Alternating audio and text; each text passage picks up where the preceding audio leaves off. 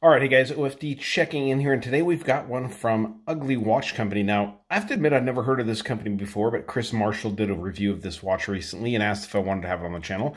I said sure, so I checked them out. Seems like they got their first watch going last year. Sometimes they came out with a diver's watch, and looks like a really nice watch. Now, this is a brand new watch. This is available on Kickstarter. I think as of today, if I looked at it right, they got about seven days left on their campaign. They're really close to hitting their $15,000 mark. So if you guys are interested in this watch, definitely jump on over. I'll leave a link to the Kickstarter campaign and whatnot, and you can uh, help support them. So here we go, guys. Now, the case this comes in is really cool. I think this is a prototype watch. I don't think this is a full production model, obviously because they're in the Kickstarter phase, but this is a really cool watch. Now, the one unique thing you're going to notice with this watch and all the watches in this 100 meter sports watch series is the mop dial or the mother of pearl dial. Gotta love the iridescent effect of a mother of pearl dial, those layers of the shell. It's just really, really cool looking. Now, um, this one is a brand new watch from them. And like I said, their first one was a diver. This time they wanted to go into a sports style watch. There's 100 meters water resistance. It does have a screw down crown. So it's kind of a watch that you can do everything with without being that diver's watch that we're so used to seeing. It sometimes there's something refreshing about a sports watch. Now, let's talk specifications on this watch. You have a 41 millimeter case from side to side, 47.5 lug tip to lug tip. I'm measuring just under 12 millimeters of thickness from the case back to the top of this flat sapphire crystal, and the watch employs 22 millimeter lug openings. All 316L stainless steel construction on this watch, as you can see, very nice finish work done all the way around. Brushing on the side of the case, polishing along the tops of the lugs, as well as this fixed bezel on the watch. Taking a look at the dial, that's what's really spectacular on this watch here. We'll get that to adjust. You can see all of the indices on this watch are applied and polished all the way around. There is BGW9 and Swiss Superluminova on here, so you have a combination of the two.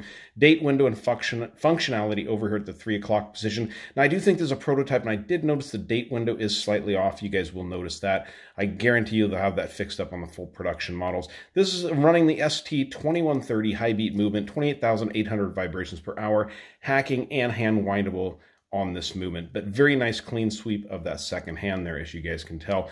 The bracelet on the watch, again, 316L stainless steel, and this is a very nice Jubilee bracelet on the watch. Love Jubilee bracelets, always super comfortable on the wrist. You can see the milled clasp assembly here.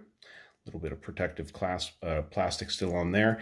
And as you guys can see, the ST2130 movement in here. There is perlage work done on this movement, as you guys can tell but very nicely done. You can see your water resistance there, sapphire crystal.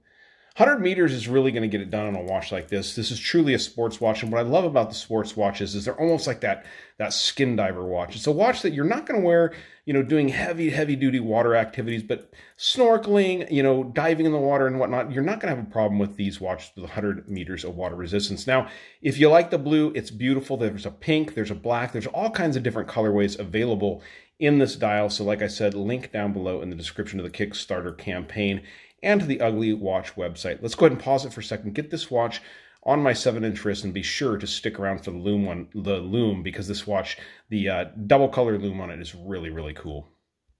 Right, here on my 7-inch wrist, 41 millimeter watch fits my wrist very well. Now, as I can show you too, the lugs on this watch, even at 47 and a half millimeters, they dive down nicely. So the watch is really going to hit, uh, hit, fit your wrist, excuse me, very well. Even if you have a smaller wrist than me, I think because of the diving lugs on this watch, it's definitely going to work for you. It's funny, Ugly Watch Company, the first thing my wife said when I opened this watch and showed it to her was, that's beautiful. That's absolutely beautiful. So I think it's funny it's Ugly Watch Company. My wife thought this was probably one of the most beautiful watches I've received to check out here on the channel, but go figure. So let's dim the lights and look at the lume.